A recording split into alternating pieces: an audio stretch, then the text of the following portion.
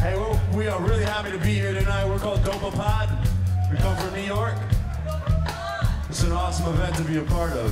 Thanks for having us.